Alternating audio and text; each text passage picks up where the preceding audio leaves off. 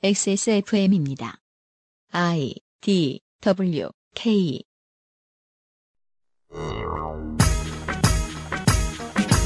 four rounds 사법부 블랙리스트. 오늘은 문재인 대통령 취임 이후 인선이 바뀐 법원이 그간의 법원 파동 문제를 자체 조사하면서 밝혀진 내용을 알려드립니다. 속도를 중시하며 진행된 조사였기에 더 알아봐야 할 의혹들이 많습니다. 무엇을 더 알아볼지를 파악하기 위해 그간 알아낸 것들을 이야기하겠습니다. 2018년 3월 마지막 금요일에 그것은 알기 싫답니다.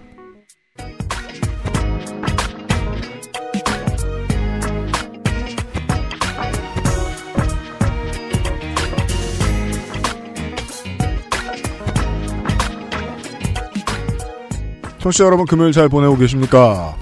KBO 개막 6일차에 XSFM의 그것은 알기 싫답니다.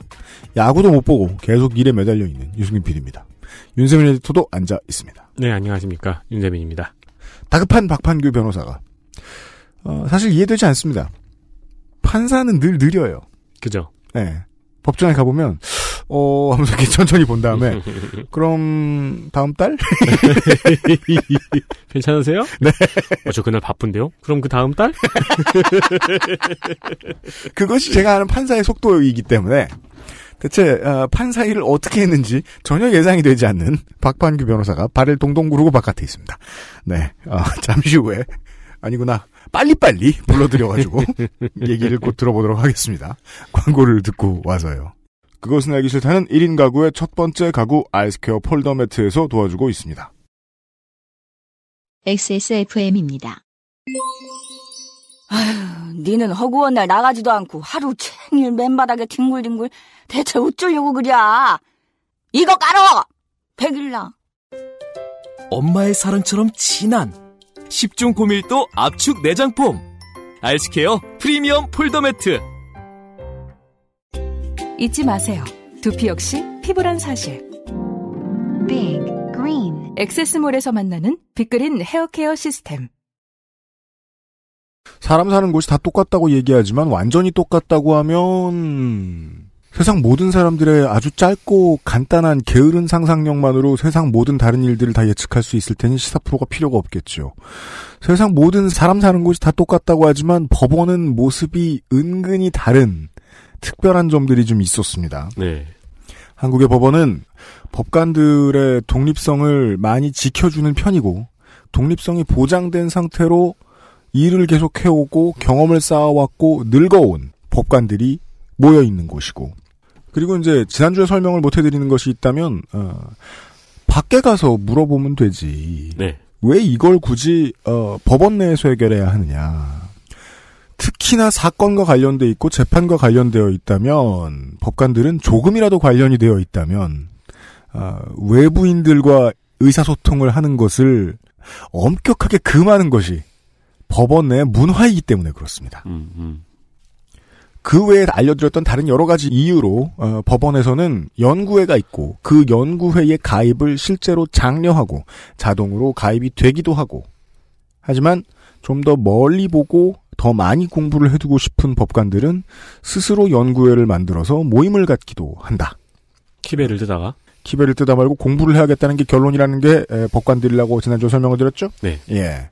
그러다가 법원 내부에 의심스러운 부분들이 세상 바깥으로 연구회에 의해서 나갈 것 같으니 권력이 가장 강한 것으로 보여지는 법원 행정처가 이를 심정적으로 제동을 걸기 위해서 전화를 여기저기 돌리고 심지어 어떤 판사에게는 승진의 기회를 주기도 하면서 책찍과 당근을 놓고서 안에 들어가서 스파이 노르테라라든가 음. 혹은 우리한테 와서 편 바꿔라라든가 하는 형태의 에, 유치한 사회생활을 종용했다.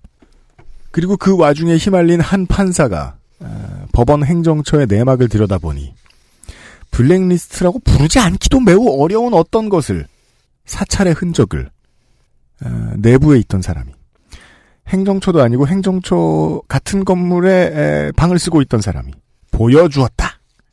있다고 알려주었다. 라는 사실. 아주 간단히 정리하면 이런 것들이 조사위원들에 의해서 세상에 공개가 되었는데 세상에 공개되면 뭐합니까? 어, 훈민정음 뭔지 알아야 훈민정음이 되죠. 아니면 그냥 책입니다. 네. 예. 이런 이야기를 엮어서 전달해드렸습니다. 아, 누가요? 법무법인 현진의 박판규 변호사가요. 아, 이번 주에 나오셨습니다. 네, 안녕하세요. 박판규 변호사입니다. 네. 지난주의 이야기를 짧게만 정리를 해드렸고요. 예. 예. 거기에 이어진 이야기입니다. 지난주에 예고를 해주셨죠. 아, 전국 법관 대표회의가 그때 우연치 않게 열리게 되었다. 어, 이제 오- 요- 오늘 할 얘기는 이제 전반부에는 그 1차 조사 결과 발표 난 이후에 네. 이제 전국적으로 판사들이 판사회의를 계속 개최하면서 이제 그 거기 추가 조사를 요구하는 하게 되고요. 음. 네. 그 추가 조사를 하는 과정 이제 요구하는 과정에서 전국 법관 대표회의 개최를 요구하게 됩니다.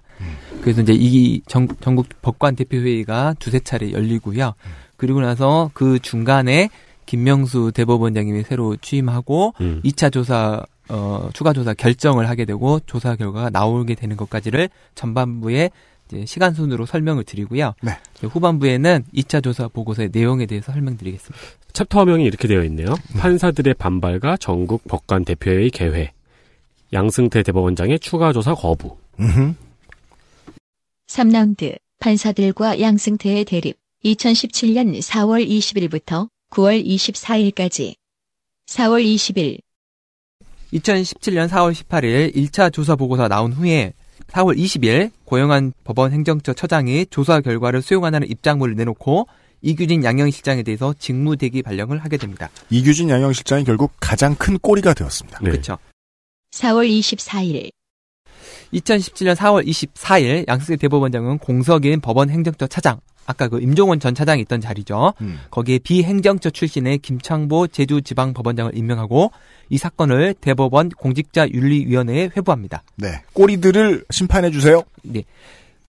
같은 날 각급 법원 판사회에서 선출된 대표 16명의 판사들이 있습니다.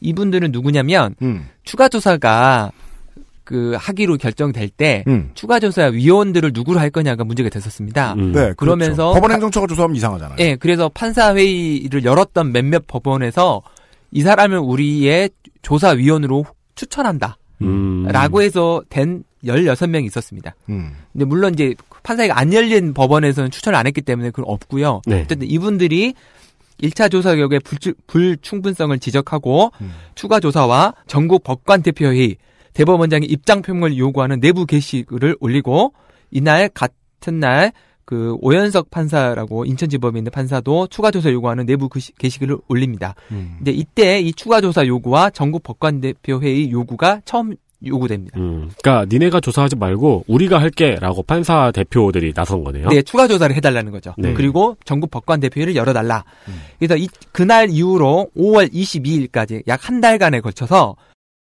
4월 25일부터 5월 22일까지 전국 18개 법원 중 14개 법원에서 판사회의가 개최됩니다. 아, 이 문제 때문에. 네, 이 문제 때문에. 그래서 세 가지를 이제 결의를 하- 하거든요. 첫 번째가 추가 조사.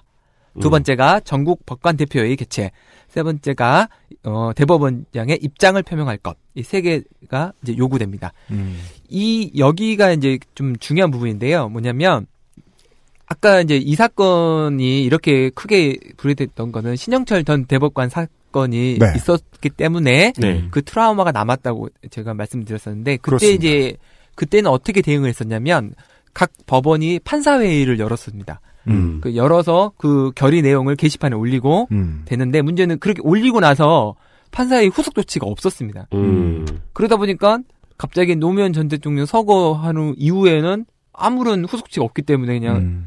결국 신영정 전 대법관은 6년의 임기를 마치고 퇴임했거든요. 그냥 오- 그냥 뒤로 밀려난 게시물만 있는 거네요. 그렇죠. 음. 그러다 보니까 이번에는 그렇게는 안 되겠다. 차라리 전국 법관 대표회의를 열어서 대표 자리를 모아서 음. 그 사람들이 결정을 할 수 있게 후속 조치를 해달라. 음.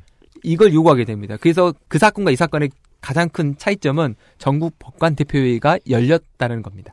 그 10년 전에 이제 부장판사급이었던 분들이 어, 신현철 대법관은 그 사태를 경험을 하고 예. 이제 그분들이 법원장이 됐을 거 아니에요. 그, 예. 다음에 그때 당시에 배석 판사들이 단독 판사가 됐고요. 그죠? 그 당시에 단독 판사들이 10년 뒤에 부장 판사가 됐죠. 그들이 이거 네. 이번엔 그냥 넘어가면 안 돼. 예, 그냥 넘어가 안 된다. 판사회만 해서는 다시 유야무야 끝날 수도 있다. 차라리 전국 법관 대표회의를 열어서 음. 구체적인 방안을 그 사람들이 논의하게 만들자. 음. 업무상 으로는 정치와 가장 유리되어 있는 업무를 하시는 분들이 네. 자신의 업에 대한 정치 활동을 시작하시네요. 왜냐하면 그쪽에서 먼저 정치적으로 굴었잖아요. 그러니까요. 사찰 의혹이 있는데 지금. 음. 네. 그, 그 중간에 이제 5월 10일 날 문재인 대통령이 취임하고 5월 17일 날 5월 17일 양승태 대법원장은 사법 행정권 남용 의혹에 관한 무거운 책임을 느낀다는 공식 입장을 표명하고 음. 각급 그 법원 대표 법관들의 논의의 장을 만들겠다. 즉 전국 법관 대표 회의를 하겠다. 하겠다. 그리고 5월 23일 고용한 법원 행정처 처장이 처장직을 사임하고 대법관직으로 복귀하면서 처장직은 공석이 됩니다. 점점 꼬리들이 올라갑니다. 5월 26일 대법원이 전국 법관 대표 회의를 6월 19일 날 개최하기로 결정하게 됩니다. 네. 이제 5월 26일 날 이 결정을 했기 때문에 그 이후에는 판사회의가 열리지 않게 됩니다. 음. 예. 그래도 그리고 나서 6월 19일 날 개최하기 위해서 그 각급 법원에서 대표자를 한두 명씩 선정하는 뽑아서, 거는 네. 하고 있- 하게 됩니다. 6월 1일 이제 법원 행정처 처장으로 2014년 2월부터 2016년 2월까지 근무했던 박병대 대법관이 퇴임합니다. 6월 19일 1차 전국 법원 그 대표자 101명으로 구성된 전국 법관 대표회가 개최되고 거기에서 사법부 블랙리스트 의혹을 조사하기 위해서 대법원장에게 조사 권한을 위임해줄 것을 요청하고 실장회의와 처장회의에 참여하여 사법행정권 남용 행위를 실행한 담당자들을 직무에서 배제할 것. 그 다음에 전국 법관 대표회의 상설화를 요구하게 됩니다. 그리고 이 요구를 관철시키기 위해서 법관 대표회의 내에다가 진상조사 소위원회, 그다음 사법개혁 소위원회 두 개를 음, 구성합니다. 그러니까 행정처와 대법원장 못 믿겠다. 음. 예, 권력 분산 이라는 네, 주장을 하고 나온 거네요. 6월 20일 대한변협은 임종원 전 차장의 변호사 등록을 허가합니다. 변호사 등록은 제가 요즘 아무리 봐도 거의 웬만하면 해주는 것 같아요. 그 임종원 전 차장에 대해서는 아까 말처럼 징계를 받은 사실이 적이 없죠. 네. 그래서 확인된 위법 사항이 없고 징계도 없었기 때문에 등록 결격 사고가 되지 않는다고 해서 음, 등록이 됩니다. 음. 물론 이게 아마 이 사건에 대해서 징계를 받았다면 등록이 안 됐을 텐데 그렇습니까? 이- 음. 이때는 뭐 아무것도 나온 게 없기 때문에 등록이 음. 됩니다. 6월 27일 일주일 뒤죠. 법원 공직자윤리위원회는 음. 이규진 전 양형위원에 대한 징계를 공고하고 음. 그 당시 처장이었던 고영환 대법관에게도 주의 조치를 공고합니다. 주의 조치를 권고. 네. 근데 이 공직자 윤리위원회 조사 결과에 의하면 음. 여기에 임종원 전 차장이 이 내용을 지시했다는 내용이 나옵니다. 아 그래요? 네. 그런데 이미 이 당시에는 그 어, 법관직을 사, 사직한 상태였고 변호사도 됐어요. 변호사가 됐기 때문에 뭐 아무것도 아, 제한이 없었죠. 변호사 자격은 박탈될 수는 없나 보죠, 그렇게? 네, 그걸로는 따라와요. 아, 6월 28일 그래서 6월 28일 양승태 대법원장이 전국 법관 대표회 요구 사항에 대한 공식 입장을 밝히는데 그때 전국 법관 대표회 상설화 요구를 수용하면서 음. 다만 사법부 블랙리스트 의혹에 관한 추가 조사 요구에 대해서는 교각 사유가 될 수 있다며 추가, 교각 조, 사루가 될 수 있다. 추가 조사를 거부합니다. 나는 소다. 나 잡으면 죽어. 결국은 이제 더 이상 추가, 추가 조사를 거부한 게 명확하게 지죠. 7월 3일 그리고 2017년 7월 3일 대한변협 김현 회장은 임종원 전 차장을 대한변협의 정책 고문으로 임명합니다. 이건 뭐예요? 이거는 변호사 협회 정책 고문이 됐어요, 갑자기? 그래서 그게 이- 어 7월 28일 날 언론 보도가 알려지면서 이게 부적절하다라고 해서 그 날짜로 정책 고문 임명을 철회하는 건 철회하게 됩니다. 아, 그러니까 간 보고 바로 빼긴 했는데 네. 이 사람을 무겁게 쓰려고 했어요. 네, 그러니까 뭐 어쨌든 뭐 이 당시에는 아무런 게 밝혀진 게 없으니까요. 행정처에서 무겁게 쓰였던 사람이니까요. 아, 그래서 네. 음. 7월 18일 양승 대법원장은 김소영 대법관을 법원 행정처 처장으로 임명합니다. 법원 행정처의 새 처장이 들어갑니다. 네. 7월 20일 이날은 전국 2차 그 전국 법관 대표회의 4일 전입니다. 음. 그날 7월 20일 인천지법 최한돈 부장판사가 사법부 블랙리스트 의혹의 추가 조사를 요구하며 사직서를 제출합니다. 예? 부장판사가요? 네, 최한돈 부장판사는 전국 법관 대표회의 진상조사 소위원회 위원장이었습니다. 음. 근데 한 달간의 조사를 하기로 해- 하고 2차 회의 때 보고하기로 원래 돼 있었는데 법원 행정처의 비협조로 아무런 조사도 하지 못하고 아. 이를 항의하면서 사직서를 제출한 겁니다. 진상조사위원회 위원장이 안해 나 판사 안해 음, 조사하러 갔는데 행정처에서 아무것도 협조를. 하지 않은 거죠. 네. 당시 법원 행정처는 문제의 피시 조사는 당연히 거부했고 1차 조사에서 수집된 증거 자료의 제공도 모두 거부했습니다. 그리고 대법원장에 대한 위- 소위원회의 면담 요구도 거부했습니다. 대법원장까지는 일단 지키네요.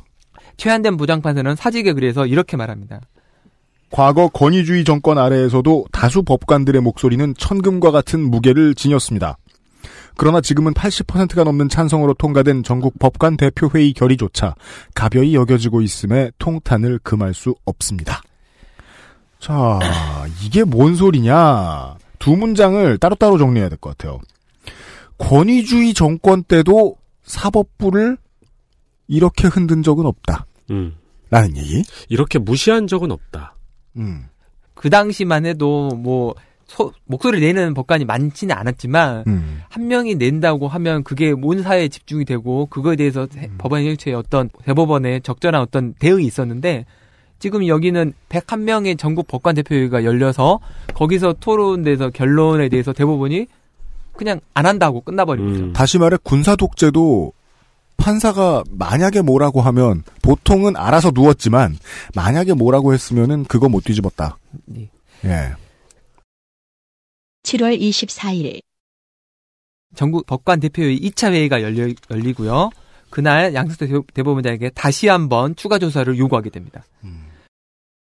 8월 10일 대법원 징계위원회는 이규진 전 상임위원에게 감봉 4개월의 징계를 부과합니다. 자, 이건 이제 박범규 변호사께 여쭤봐야 되겠어요.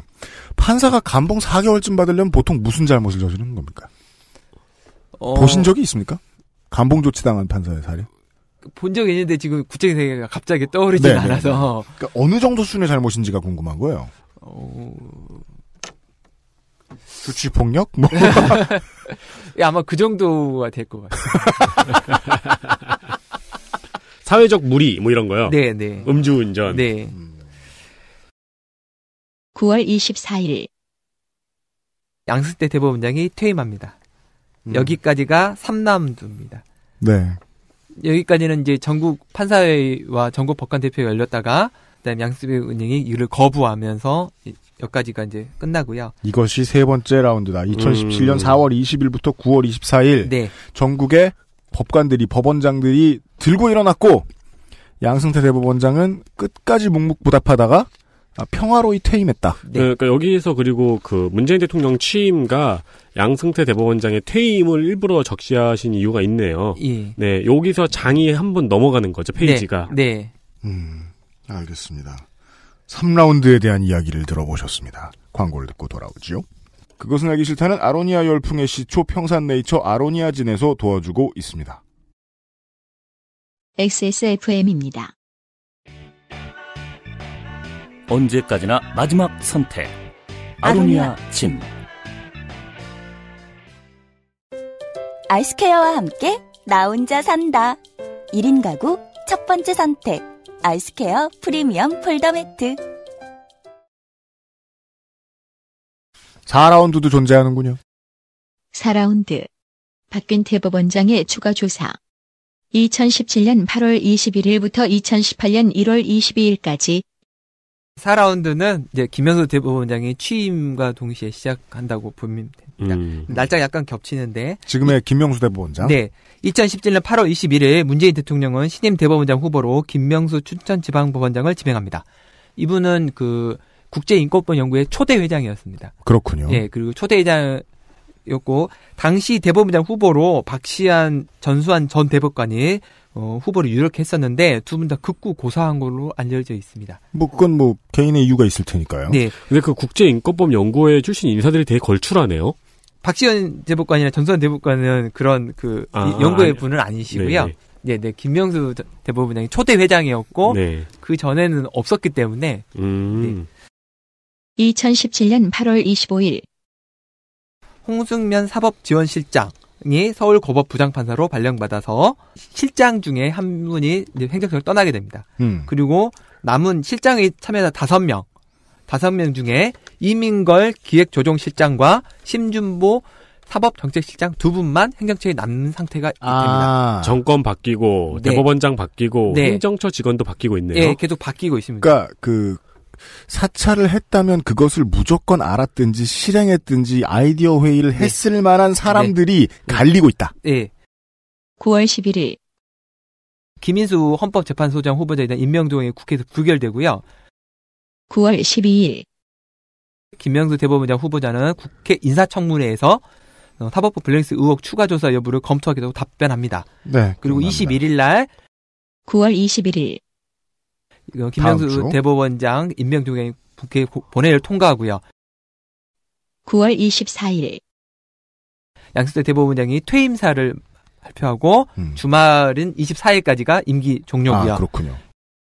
9월 25일 김명수 대법원장이 공식 출근하면서 사법 김명수 블랙 대법원장 첫 출근. 네 그리고 사법 블랙리스트 의혹 추가 조사를 당장 검토하겠다고 입장을 밝힙니다. 이때는 기억이 나는 것 같네요. 네. 6개월 전이에요.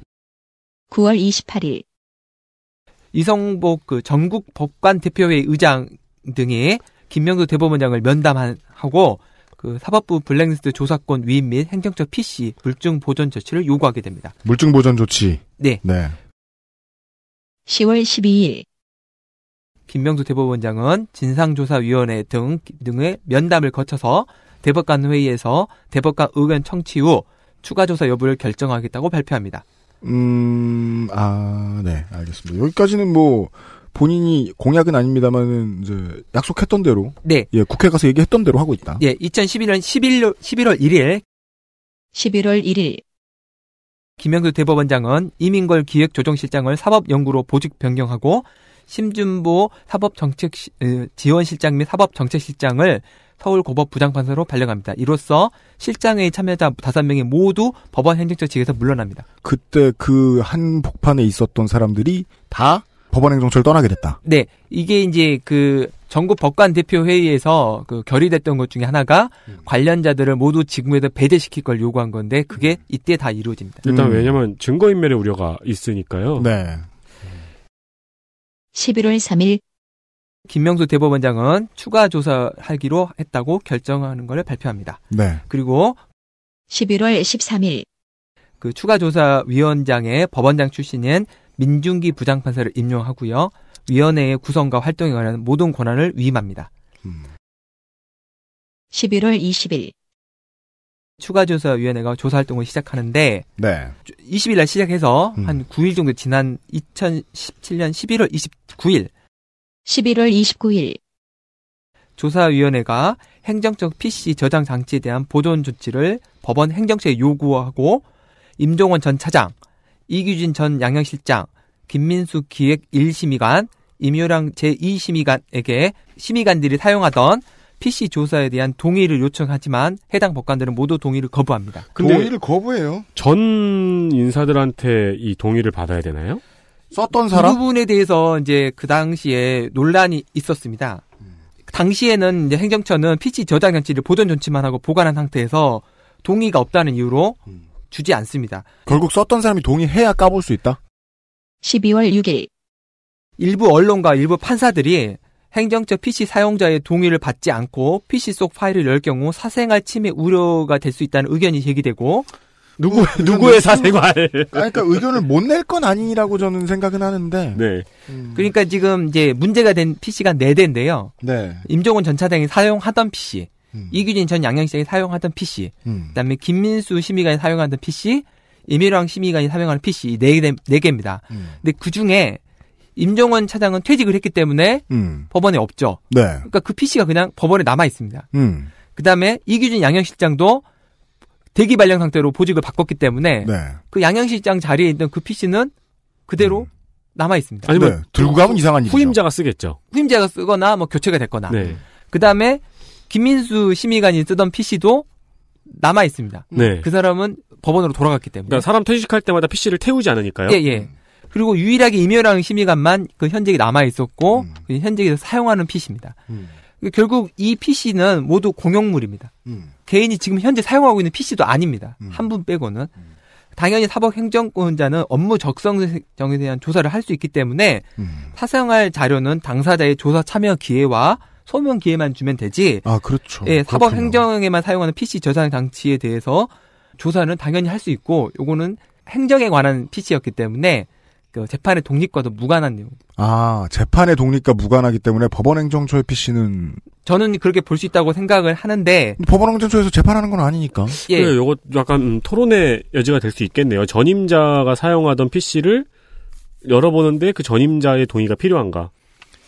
그, 그 부분에 대해서 저는 아니라고 생각을 하고 음. 그래서 동의 안 결국- 받아도 된다. 네, 근데 결국은 동의가 안 된 상태에서 조사를 하게 됩니다. 근데 저도 아니라고 생각하는 게 왜냐면은 퇴직이나 보직이동이나 PC 교체 회사에서 해보신 분들은 아시겠지만 인수인계 과정에서 다 정리되는 거잖아요. 그렇죠. 네. 결국 한달 여간 동안 이 PC를 열 거냐 말 거냐에 대해서 내부적으로 결정 못한 상태에서 음. 조사가 된 지 한 달하고 한 일주일 정도 지난 2017년 12월 26일 추가 조사에는 법원 행정처로부터 이규진 양- 양양실장과 김윤수 심의관, 임효량 심의관의 PC 저장 상태 넘겨받아 키워드를 입력하여 발견된 파일에 대하여 파일의 내부에 대한 조사를 개시하기로 시작합니다. 아 전부 다가 아니라 네. 일부 키워드를 넣어서 발견되는 파일에 한해서 조사하는 걸로. 네, 그래서 음. 그 키워드는 뭐냐면 국제인권법 연구회, 음. 그다음에 연구회 회원 이름, 이름. 그다음에 동향 음. 이런 검색어들을 입력해서 거기에 나온 파일들만 조사하는 겁니다. 그 정도면 되겠네요. 그걸 음. 뭐 예를 들어 뭐 이탄희 판사다 그러면은 저 토렌트처럼 이 하트 보통 우리는 AVI를 검색을 했죠. 그렇게 하진 않을 거 아니야. 네, 네. 예. 하지만 그때도 임종원 전 차장의 그 저장 장치 제공은 끝까지 거부됩니다. 아 임종원 전 차장은 거부했다고요? 네, 계속? 그 PC는 그러니까 여기서 거부하는 주체는 법원 행정처입니다. 아, 행정처가 임종원 전 차장의 PC는 줄 수 없다. 줄 수 없다고 해서 거부됩니다. 이때 당시 법원 행정처장도 바뀌었는데. 행정처, 장은 그 양승태 대법원장이 임명했던 김소영 아, 그. 사람은 또 양승태 대법원장 인명, 인명, 네. 임명하고 간 사람이야. 네. 음. 그리, 그리고 이 조사가 이제 12월 26일 시작되니까 12월 28일 주광덕 자유한국당 의원이 행정처 PC 강제 개봉과 관련해서 관련해서 김명수 대법원장과 추가 조사 위원들을 검찰에 고발합니다. 자, 주광덕 의원은 뿅뿅 나타나네요. 이제 국회와 검찰이 나타났어요? 계속 네. 법원이었는데? 이거는 그냥 계속 검찰에 고발된 상태로 현재까지 뭐 진행된다는 말은 못 들었습니다. 검찰도 무섭죠. 그러니까 제가 질문하고 싶었던 게 그거였거든요. 그냥 그 일반인 입장에서 이것도 사찰도 말이에요. 회사의 직원에 대한 사찰이라도 범죄 혐의가 있는 거기 때문에 수사는 검경이 해야 되잖아요. 그래서 저도 그 생각을 했어요. 근데 법원에서 이런 일이 있었잖아요. 가급적 검찰이나 경찰을 법원 안에 안 들이려고 하는 건가요? 이게 좀 그런 면이 있고요. 그다음에 이제 대한 우리 헌법이 사법부, 입법부, 행정부로 나눠져 있고 네. 특히 입법부에 관해서는 자치권을 인정하는 경우도 있어서 네.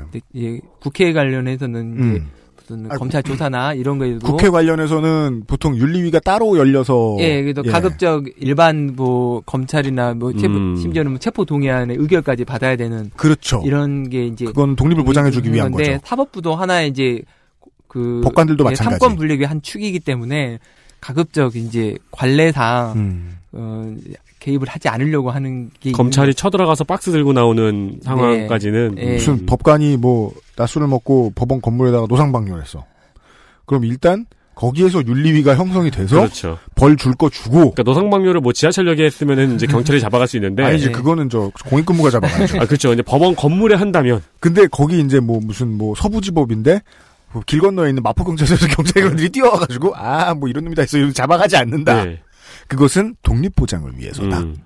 그렇다면 조사하는 게 훨씬 귀찮고 힘들죠. 예. 강제 구인, 강제 소환, 압수수색 이런 거 안 되잖아. 2018년 1월 22일 1월 22일입니다. 음. 이게 조사가 시작된 지 두 달 정도 가- 된 이후에 해가 넘어가서 올해가 됐네요. 네, 추가조사위원회가 행정적 PC 사용자에 대한 인적 조사를 실시하게 됩니다. 그리고 1월 22일 2차 조사 결과가 발표됩니다. 음.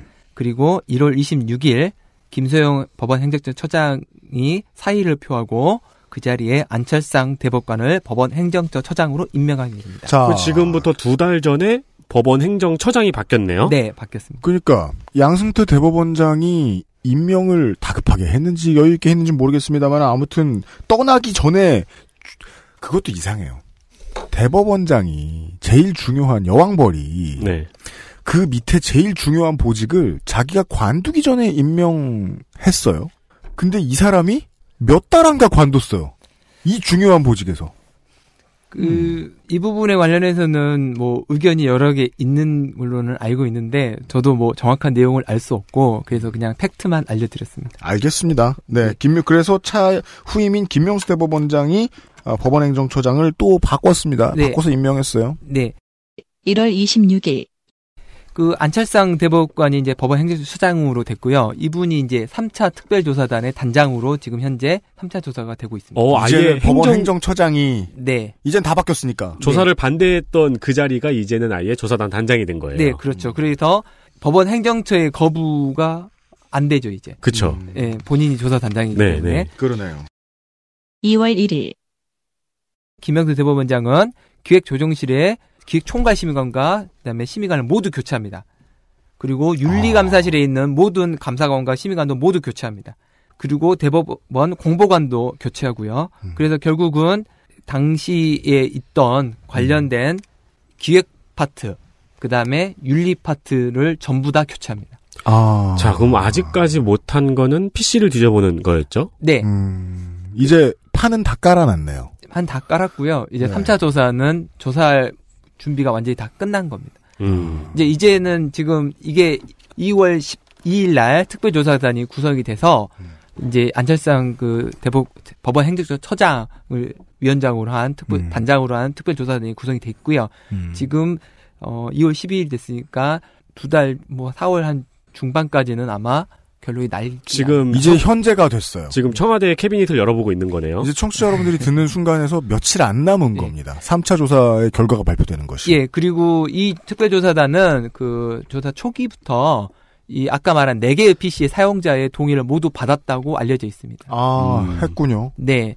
왜냐면 그 사람들은 다 바뀐 사람들이니까요. 이제 뭐 페이스북에서 누구 누구 찾아갔는지 이런 것도 이제 다 그러니까 개인 정보 일단 다 볼 수 있, 뭐든 볼 수 있다. 그 지금 이제 조- 음. 그 동의를 받은 사람들은 아까 말한 그 사람들한테 직접 다 받았다고 알려져 있습니다. 그 음. 아, 임종원 전, 차장, 전임자들한테. 예, 임종원 차장, 그 다음에 그 네명 네 분의 판사님들의 동의를 받았는데요. 음. 이제 그 임종원 전 차장, 그다음에 이규진 양형실장, 그 다음에 김민수 심의관, 임혜랑 심의관 이 네 사람의 동의를 모두 받아서 음. 조사가 착수됐다고 알려져 있습니다. 음, 문제가 발생했을 때 자리에 있던 사람들이요. 예. 알겠습니다. 예, 여기까지가 이제 그 현재까지 상황까지를 모두 설명드렸습니다. 네, 여기까지 왔습니다. 그 사이에요.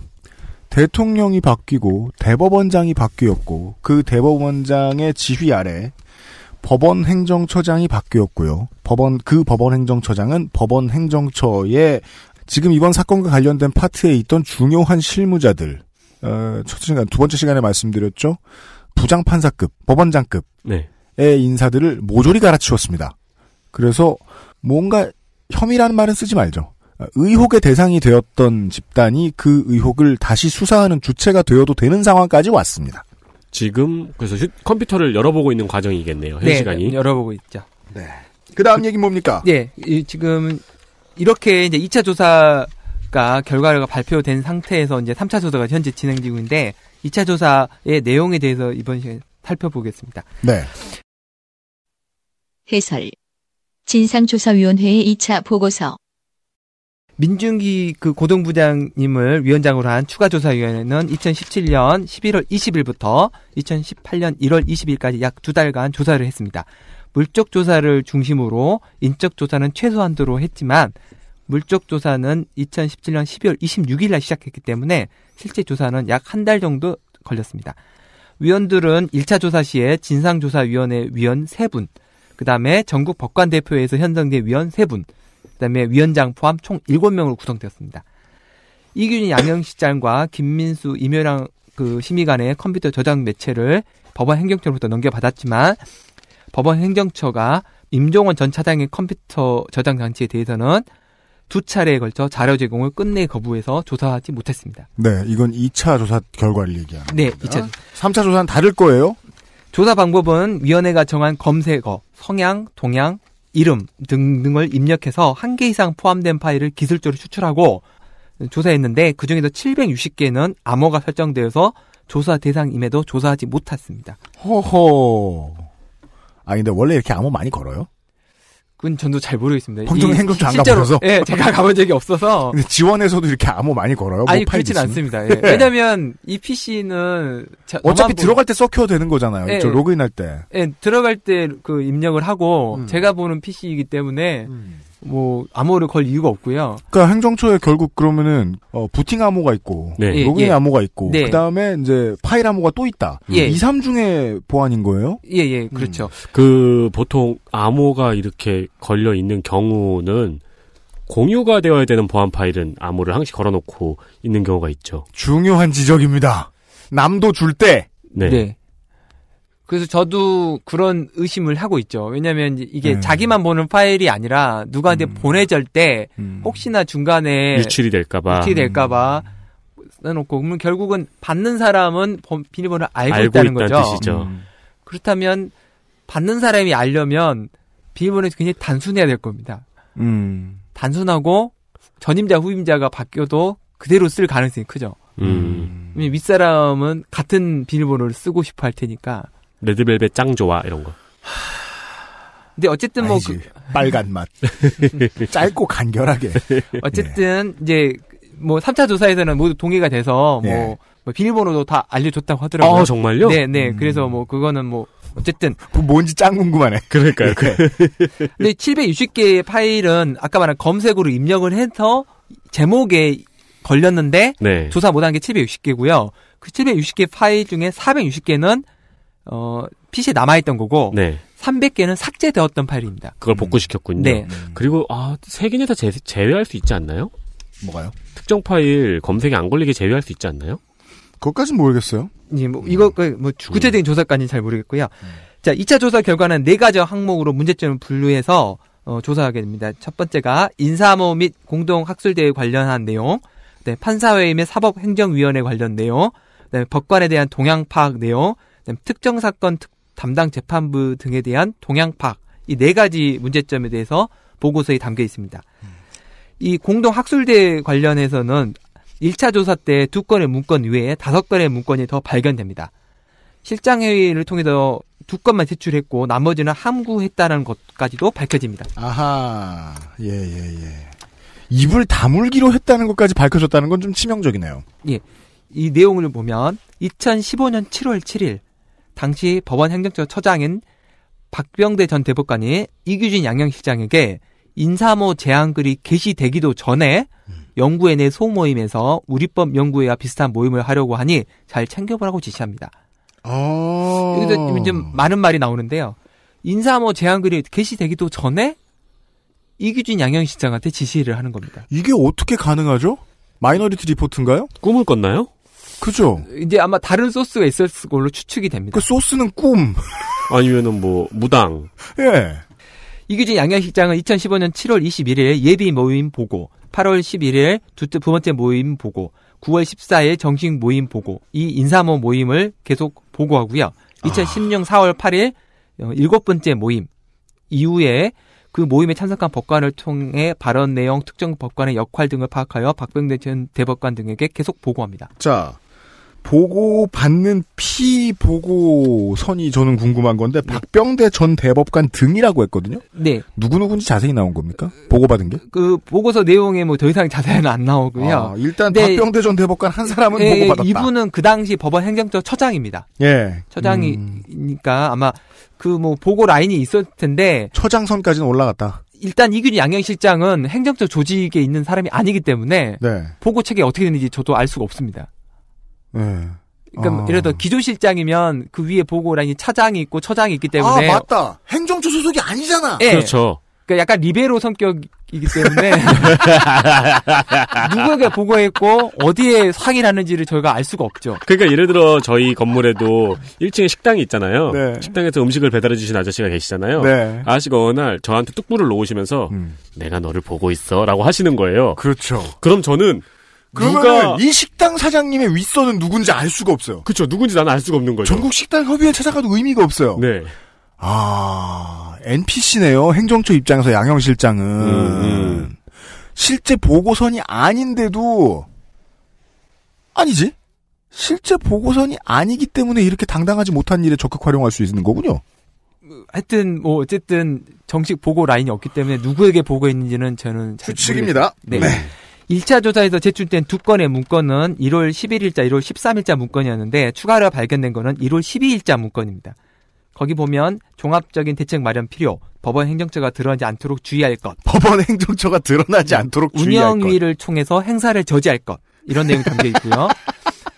2017년 1월 16일자 문건에는 1월 그러니까 이제 회- 운영위 회의 다음 날이죠. 음. 1월 16일자 문건에는 운영회 회의 주요 발언을 정리한 연구회 운영위죠. 네. 연구회 운영위 회의의 주요 발언을 입스트랍 네. 엿듣고 정리해라. 그러니까 이제 뭐 엿들었겠다기보다는 그 운영회 참석자의 누구로부터 전해 들었을 그렇죠. 가능성이 크죠. 아 뭐 판사는 뭐 네. 이쪽에 전달할 수 있는 판사라도 거기 가입해 있을 수 있으니까. 네, 네, 네.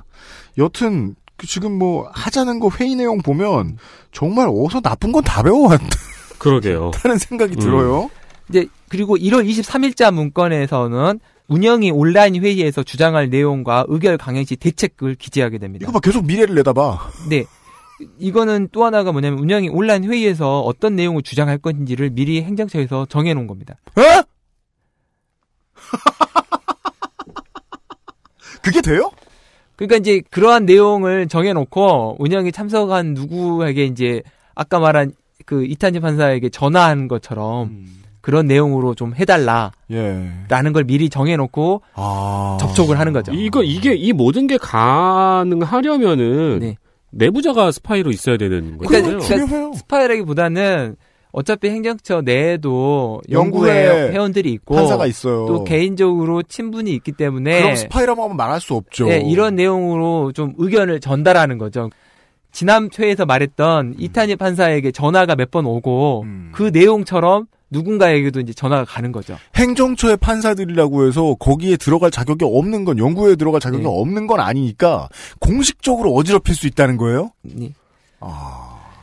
그리고 2017년 1월 말경 문건에는 대응 로드맵이 마련되고 단기 방안으로 회장 사퇴 방안, 그다음에 중기 방안으로 중복가입 해소 조치로 연구회원 50%를 급감시켜 네, 그 다른 연구에 거죠. 비해 현저한 타격을 주는 방안, 음. 연구에 대한 예산 삭감 및 해외 출장 제한 방안 예산도 삭감하고 이런 내용으로의 문건이 작성되고요. 음. 그리고 나서 로드맵 문건이라고 해서 인사 이동 후 3월 초순경에 중복과 해소 조치 공지 계획을 포함하는 문건들이 다섯 건이 발견됩니다. 음.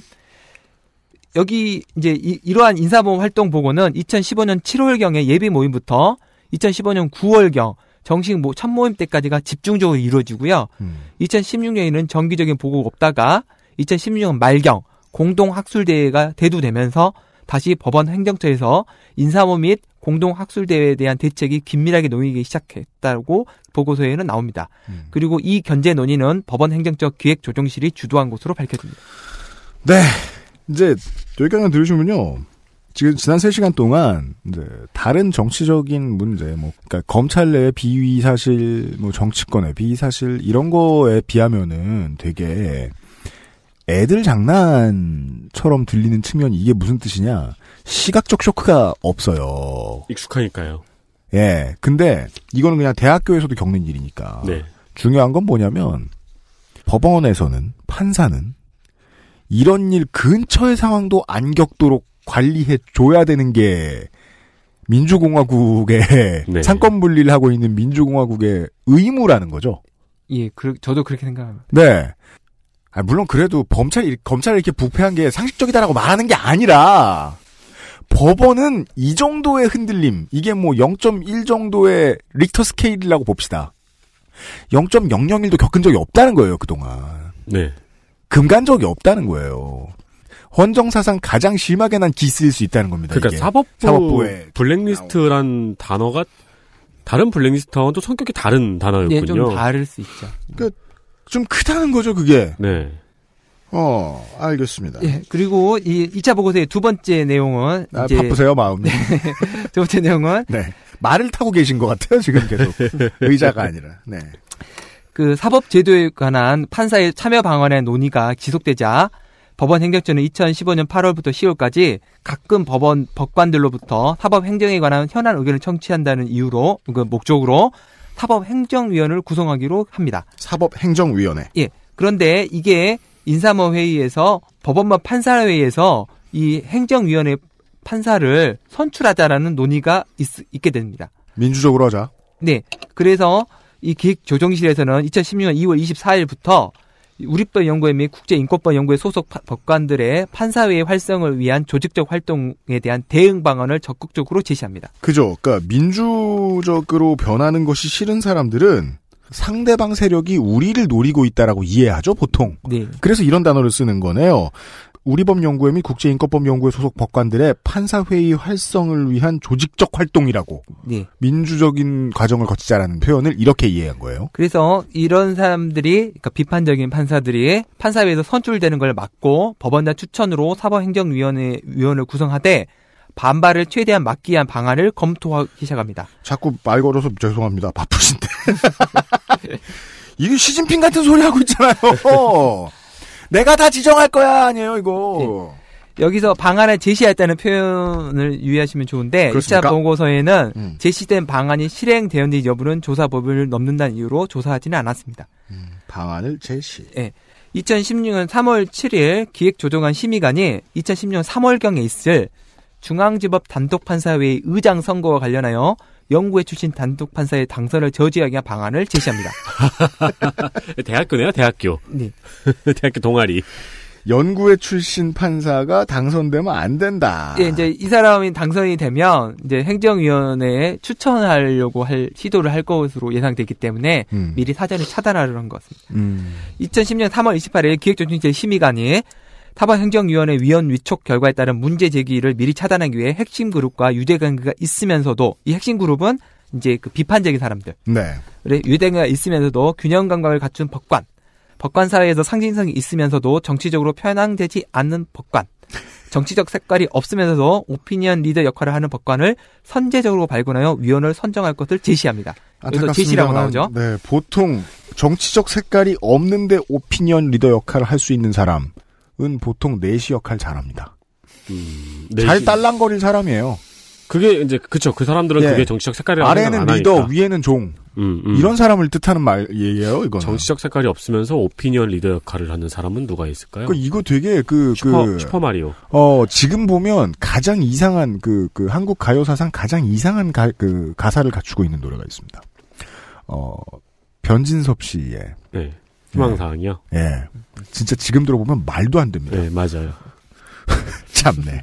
그러니까 그 연구회와 유대 관계가 있으면서도 균형 감각을 갖춘 이들이 말하는 균형 감각이 뭔지 알겠습니다. 법관 사회에서 상징성이 있으면서도 편향되지 않은 이들이 말하는 편향되지 않으니 어느 쪽으로 편향되지 않은 건지 알겠습니다. 예. 뭐 아무튼 이상한 사람 찾고 아, 있습니다. 이거 저거네요. 저기 그 클래식하면서도 트렌디하게 디자인해 주세요. 이건 마치 디자이너에 대한 요구와도 같은. 차가운 웜톤으로 해주세요. 네. 이제 그이 위원회에 관한 명단이 이제 언론에 나온 그 명단인데요. 네. 균형 있는 위원회가 구성된 것 같은 외양을 갖추려고 하되 실질적으로는 진보적 성향을 가진 법관들에게 영향을 미칠 수 있는 온건하거나 보수적 성향의 법관들이나 주류 법관들을 추천하고 강성으로 평가된 법관들을 배제하려고 하는 노력의 정황입니다. 그게 이 얘기죠. 네. 네. 강성이란 말 여기저기서 자주 보이네요. 네. 자, 그 여기까지 그 이제 이거 세 번째 그 뭐, 보고서 내용 중에 하나가 법관에 관한 동향 파악 문건들이 다수 발견되는데요. 음. 이제 이거는 뭐 2016년 8월 달에 어, 문건으로 각급 법원 주기적 점검 방안으로 공식 라인을 통한 정보 수집, 거점 법관을 통한 정보 수집. 나쁜 짓은 다 한 거점 법관은 누구야? 네, 그다음에 그 다만 거점 법관 이렇게 죽이면은 다음 스테이지로 넘어가는 그거 아니에요? 그렇죠. 중간 보스를 뜻하는. 이제 그건 아니고 이제 여기 보면 그 문건의 알겠죠. 내용 중에 보면 네. 다만 법관 사찰, 재판 개입 등 큰 반발이 예상되므로 철저한 보안 유지가 필요함을 적시하고 있습니다. 음. 그러니까 들키지 말고 법관 사찰하고 재판 개입하는 소리잖아요. 그렇죠. 그래서 이제 이게 지금 이 문건이 굉장히 이상한데 주기적 점검 방안이라고 해가지고 음. 나오는데 이게 이제 공식 라인이나 정보 수입이 뭐냐면 그 아까 말한 각급 공보 법관이나 네. 기획 법관 음, 여기는 행정처로 주로 일을 하기 때문에 음. 그 사람들을 통해서 법원에 있는 아 지원에 나와 있는 공보법관들은 아니, 나와 그러니까 그 기원 소속의 사- 판사가 공보법관이 되거, 되거나 네. 기획법관이 되거든요. 근데 그 사람들은 행정처의 명령을 받는 건가요? 주로 일을 행정처라고 합니다. 아 행정처랑 주로 일을 예, 하니까 주로, 예, 네, 이분들을 통한 정보 수집은 공식 라인이라고 표현하고 있습니다. 좋게 음. 말해 거점 법관 네. 실제로 보기엔 숙주네요 숙주. 뭐, 뭐 그렇게까지 얘기하기는 좀 그런데 그건 제가 아니, 말하는 그러니까 이제 겁니다. 네, 그 박학기 변호사는 그런 말씀 안 업무적 하셨습니다. 업무적 연계성이 있다 예, 예, 보니까 예, 예. 수집되는 내용이 있다는 거죠. 네, 그렇죠. 이제 그분들 통해 정보 수집이 있는데 그 부분들에 대한 정보 수집만으로는 한계가 있다고 생각을 해서 음. 거점 법관을 통한 정보 수집을 이제 방안으로 제시하고 있는데 음. 그게 뭐냐면 거점 법관이 이제 전에 행정처에서 근무했던 쉽게 말해서 내리 꽂아놓은 사람들이란 소리죠. 아니 근데 이제 그건 아니고 왜냐면 행정처에서 근무하고 나면 몇 년, 1, 2년 근무하면 다시 지방 법원으로 이제 네, 근무를. 가잖아요. 꽂은 건 아니야. 예. 근데 이제 가기 때문에 그냥 거기 있는데 아무래도 이해계기가 편하고 음. 그다음에 어떤 뭔가 물어봐도 외부로에 발설하지 않을 것으로 네. 생각되는 갈 때 이제 삶은 계란과 사이다를 그러니까 챙겨주면서 우리 우리 일을 이해하는 사람들. 그렇죠. 예, 예. 그리고 협조적인 분들 그런 분들을 거점 복관으로 통해서 이분을 통해서 각급 법원의 동향을 파악하겠다는 겁니다. 음. 이거 대한민국의 유구한 역사에서 가장 비슷한 사례는 오가 작통법입니다. 근데 이제 이 문건에는 거의 스스로 표현을 하고 있죠. 법관 사찰이나 재판 개입의 반발이 일어날 수 있기 때문에 네. 보안 유지를 해야 된다. 음. 그러니까 스스로도 이제 그런 내용이 알고 있는 거죠. 예, 예. 그리고 이제 뭐 다른 문건에는 보면 그 다음 카페가 있는데요. 이거 저- 뭐예요? 이판사판 야단 법석 이게 이제 카페? 판사들만 가입하는 다음 카페가 이제 비공개 아. 카페가 있는 걸로 알고 있습니다. 저는 가보지 않아서 잘 모르는데 네. 거기에 이제 주요 게시글을 검토를 하고요. 음. 그 안에서 혹은 문제가 있다고 판단을 했는지 자발적 폐쇄를 유도하고 법원 대나무숲 같은 건가 보다. 네 약간 그런 거로 음. 비슷합니다. 네. 그 법관 윤리강령이나 윤리강령 공고 이- 의견 위반 여부를 검토하여 설득 및 엄포용 카드로 활용하는 내용이 제시가 됩니다. 아, 여기에 아까- 이런 걸 올렸지 하고 협박해라. 자, 다시 말씀드리면 제시가 됐고요. 됐는지 안, 실행이 됐는지는 확인하지 않았습니다. 어쨌 어, 이 다음 카페에도 행정처 사람이 들어가 있다는 얘기네요. 어쨌든. 왜- 왜냐면 판사만 그- 들어갈 수 들어갈 수도 판사니까요. 있고 네. 또 행정처 근무에다 나와서 들을 수도 있고 그렇죠. 근데 네. 이게 문건으로 제시가 됐다는 거는 보고도 되고 있다는 얘기네요. 아마 그걸로 추측이 되고 네. 아까 말한 제시가 됐다고 되어 있기 때문에 실행됐는지 여부는 그렇죠. 확인이 안 됐다는 음. 건 말씀드립니다. 네. 그리고 이제 그 외에 2015년 7월 6일자 문건에는 상고법원안 내부 반대 움직임이 있기 때문에 상고법원 입법 추진 및 정상적인 사법 행정 시행의 불안 요소가 되므로 선제적 대응 방안을 검토하고 구체적인 정보를 수집해서 핵심 그룹을 상대로 직접 설득에 나서라. 그 다음에 설득이 어려운 경우 압박책을 고려하는 방안을 제시합니다. 네. 우리가 이제 시간 관계상 네. 그 상고 법원에 대한 설명은 좀 생략을 하기로 하죠. 네, 예, 예. 그러니까 다만 이제 이렇게만 얘기를 해볼까요? 그 당시의 대법원이 추진하고 싶었던 제도가 있다. 네. 근데 그 제도가 다른 판사들의 일반 판사들의 반대에 부딪히지 않게 하기 위해서 여론전을 어떻게 네. 펼쳐라라는 회의를 법원 그렇죠. 행정처가 했다. 음. 예, 방안을 제시하는 거죠. 네. 이제 그 외에도 뭐 차성화 판사가 이제 상고법원 반대 입장을 하는 게 있는데 그거에 대해서 어, 차성화 판사의 친척 관계 있는 부장 판사를 통해서 설득을 시도하고 그 결과가 실패했다는 내용도 나옵니다.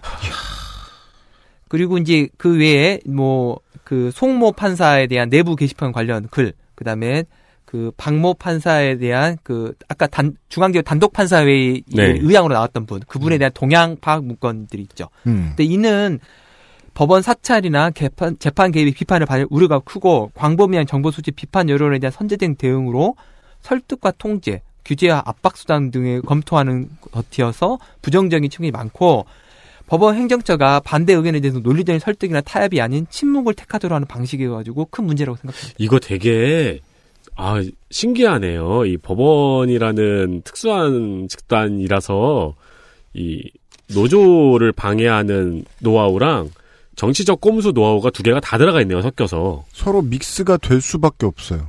예. 네. 각 판사들은 개별 개체잖아요. 네. 예. 근데 이제 또 비슷한 입장을 견지하고 있는 사람들이 많다 보니까 노조 조직을 분쇄하는 방식하고 네. 국회에서 로비하는 방식을 섞어서 섞어서 다 들어가 있네요. 근데 또 그쪽에서는 인사권을 휘두를 수도 있고. 음. 예.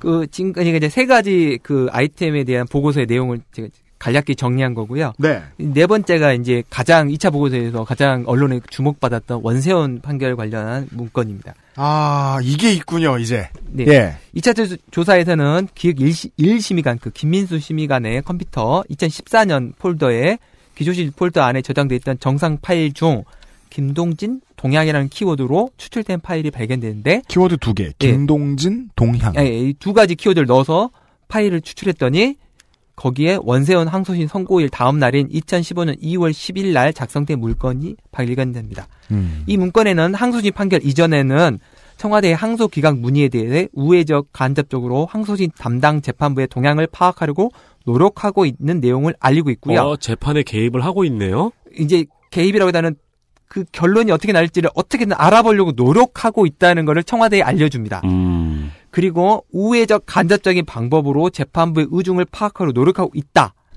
다만 1심과 달리 결과 예측이 어려우며 행정처도 불안해하고 있는 입장이라는 내용이 담겨져 있습니다. 자, 몇 가지를 파악할 수 있습니다. 저희가 몇 시간 동안 계속 시간 나면 강조해드렸던, 어, 우리나라의 사법부는 생각보다 독립이 잘 돼 있다. 네. 그래서 어떤 재판부가 무슨 재판을 맡아도 바깥에서 판사가 무슨 생각을 하는지 알 방법은 없다. 네.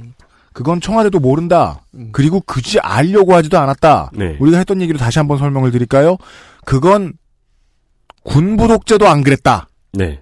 근데 여기서는- 지난 정권은 시도했다. 예. 그리고 이제 이 문건의 내용을 보면 우병우 민정수석이 선거 후에 선거가 이제 그 항소심 판결이 원세훈에게 불리하게 나왔거든요. 네, 당시 청와대 민정수석. 네.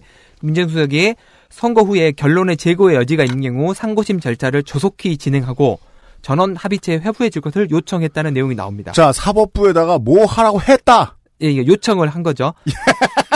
그러니까 자꾸 순화시키시네요. 행정 행정처도 행정처도 재판에 관여를 못 하는 거예요. 네. 네. 못 하니까 청와대에서 압박을 넣고 행정처에서 노력하고 있다고 대답을 하고 있는 거죠, 지금. 네, 대답을 했고 선고가 나니까 대법원은 이제 상고를 할 건데 음. 상고에 대해서는 전원 합의체로 회부해 달라고 요청을 한 거죠. 음. 근데 이제 전원 합의체에 회부해 달라는 요청을 하려면 뭐 원세훈 음, 피고인의 변호인이 하면 뭐 아무 들어줄까. 말까. 아무 문제가 없죠. 네. 그거는 문제가 없는데 지금 우병우 민정수석이 했다는 게 문제죠. 그렇죠. 법원 행정처는 곽병원 당시 법무비서관을 통해 사법부의 진위가 곡해되지 않도록 상세히 입장을 설명했다고 문건에 나옵니다. 향후 대응 방안으로 신속 처리 추진이라고 하면서 기록 접수 전이라도 법률상 오류 여부 검토, 쟁점 예상, 선거 무효 소송에 영향이 있을 수 있다고 합니다. 자, 몇 가지 단어. 신속 처리 추진. 누가 처리할 권한이 있는데요? 이거는 대법관이 처리할 권한이 있죠. 근데 지금 이거를 법원 행정처에서 노력을 또 하고 있네요. 노력을 하고 있죠. 네. 참. 굉장히 노력하는 집단이네요. 그, 그, 아니, 개입할 수 없는 선에서 들어와서 판결에 개입하게 두었거나, 최소한 그렇게 두었거나, 최대한은 판결에 자기들도 영향을 주려고, 지들도 판사 출신들인데, 음. 열심히 했다는 거 아니에요. 근데 이제 법원 시스템이 판결에 영향을 줄 수 없는 시스템이기 때문에 결과를 미리 알려고 노력을 했고 예. 알면은 뭔가를 할 수 있을 테니까 그랬으면은, 이제까지 동원했던, 사찰했던 자료, 이런 거 다 동원해가지고 전방에 압박할 수 있잖아요. 판사에 대해서. 그렇죠, 그렇죠. 그 지금 이 문건에 나오는 여러 가지 문, 문건 문구들이 굉장히 이상한데 그 중에 하나가 이제 1심과 달리 결과 예측이 어렵다고 되는 부분이 있습니다. 1심은 예측을 했네요. 1심은 결과를 예측했죠.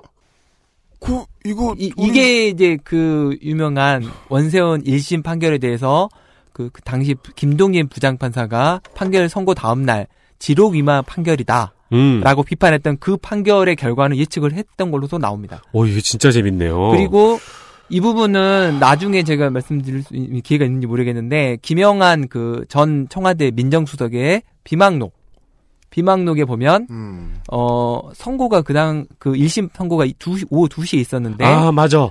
그 청와대 수석회의가 오전에 있는데 그 음. 오전에 그 원세훈 1심 판결의 결과를 적어놨었죠. 메모하는 게 있습니다. 네, 있었죠, 그게. 예, 있었죠. 그게 2시에 선고하고 정확히 일치합니다. 실제로 일이 있기 전에 결과를 알아내는 경우 있잖아요. 네. 이런 경우는 우리가 궁금할 땐 무조건 이원채 오즈메이커한테 물어보면 되거든요. 그, 아, 그렇죠, 그렇죠. 예. 한 사람이라도 알면 도박사는 다 안다. 음, 그쵸. 오호, 이거 뭐야.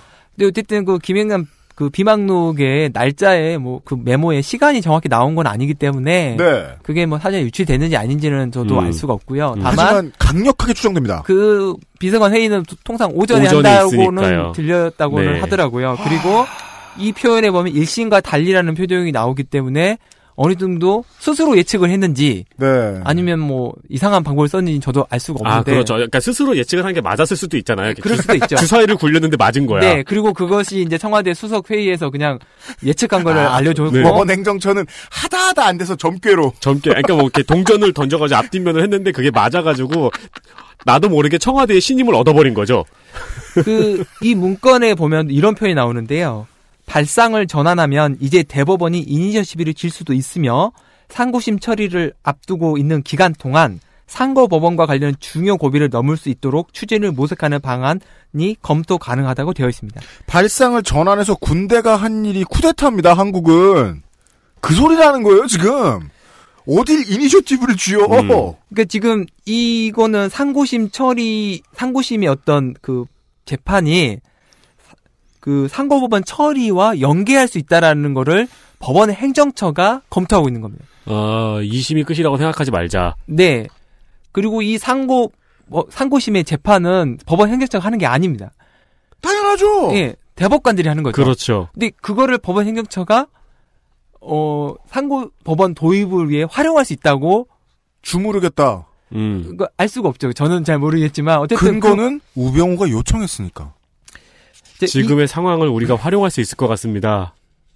이게 아니, 그러니까 이제 저는- 여기서 하는 네. 활용은 뭐냐면 이니셔티브를 줄수 있다는 말은 네. 상고법원 도입과 관련해서 네. 청와대나 법무부로부터 협조를 그동안 못 받은 걸로 보입니다. 음. 그런데 이 상고심, 그러니까 상고 항소심이 원하는 대로 안 나왔지만 음. 상고법 재판에 내리는 그 순간 거, 거기까지는 오히려 대법원이 주도권을 질 수 있는 상황이 되니까 오히려 괜찮다. 근데 이거 신기한 게, 와, 청와대하고 법원 행정처가 이렇게 비밀 얘기를 서로 주고받는, 비밀 네. 교환 일기를 주고받는 사이인데, 음. 그 와중에 신기한 게 행정처에서 이런 일을 하는 사람들이 전부 다 판사님들이라는 게, 판사들이라는 게 굉장히 신기하네요. 그렇죠. 네.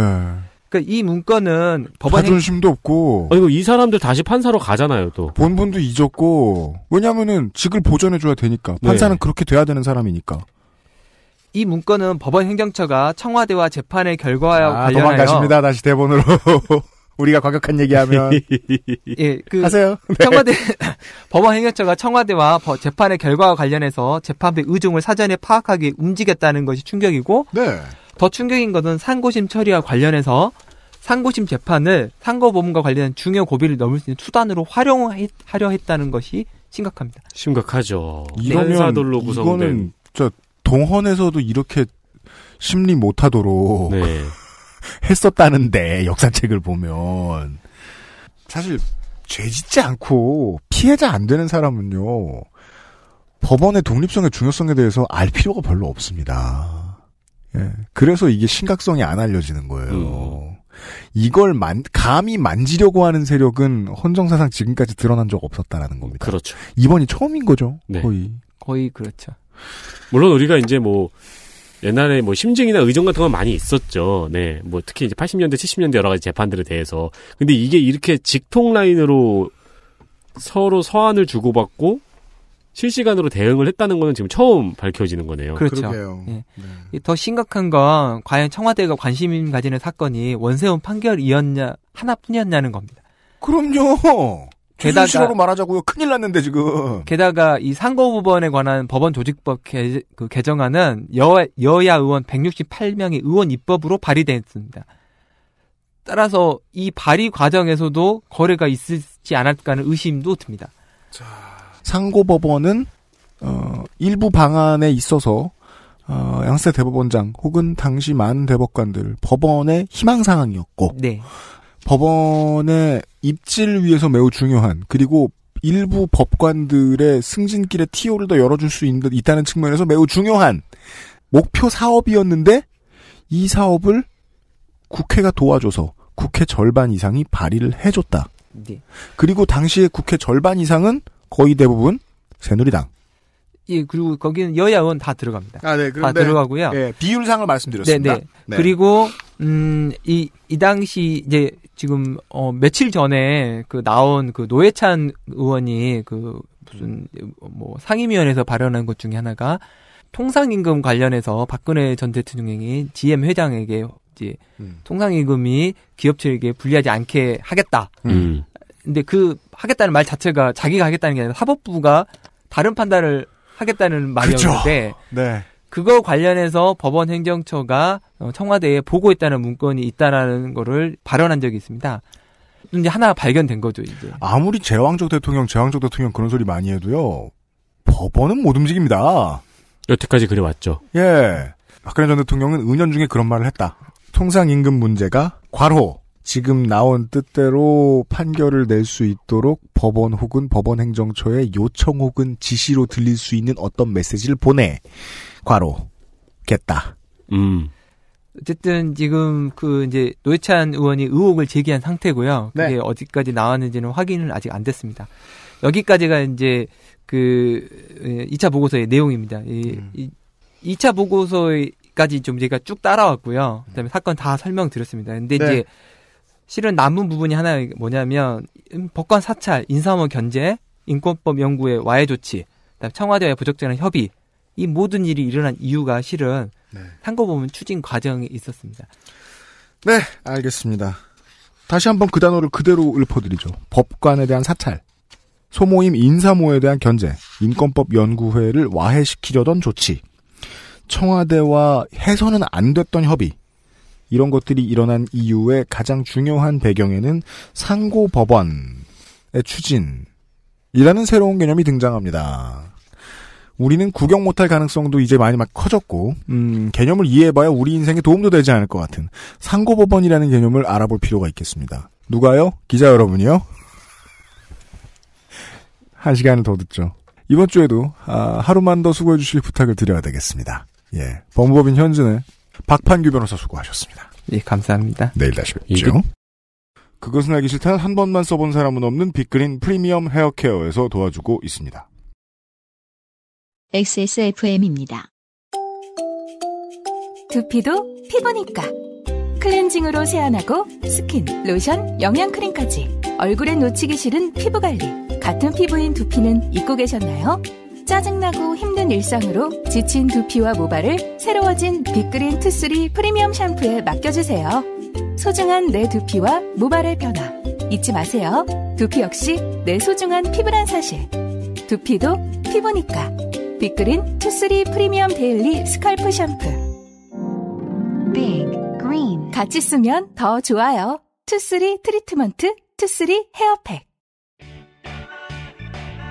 언제까지나 마지막 선택. 아로니아 침.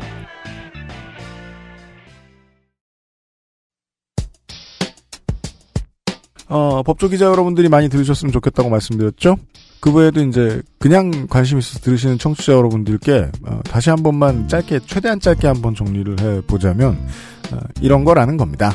아, 원래 사법부 안 건드려 판사 안 건드려 근데 지난 정부는 건드렸다. 그리고 내부에서 호응해 오는 법원의 식구들이 있었다. 우리 좀 건드려줘. 서로 딜 좀 하게. 음. 근데 법원이 딜하면 뭘 가지고 딜합니까? 법원 내에 있는 마호가니 책상을 주진 않을 거 아니에요. 어, 되게 갖고 싶네요. 법원 안에 있는 막 되게 오래된 로모 카메라 그런 걸 주진 않을 거 아니에요. 그, 그, 그 이제 유니크템 이런 걸 내면서 예, 국회에 가서 사법부에 유리하게 법을 바꿔주시오 이러진 않을 거 아니에요. 네. 판결을 가지고 딜을 쳤을 거라는 겁니다. 음. 예. 아무리 부패가 많은 나라에도 웬만하면 사법부가 판결 가지고 자기 이득을 위해 딜치지는 않는다는 거죠. 그 문제에 대해서 접근을 하고 있던 중입니다. 내일 이 시간이 결론입니다. 잠깐 쉬러 간 다급한 박판규 판사, 아, 전 판사, 변호사와 함께 다시 한번 토요일에 인사드리겠습니다. 듣느라 수고하셨습니다. 유승 PD와 윤세민 에디터였습니다. XSFM입니다. I D W K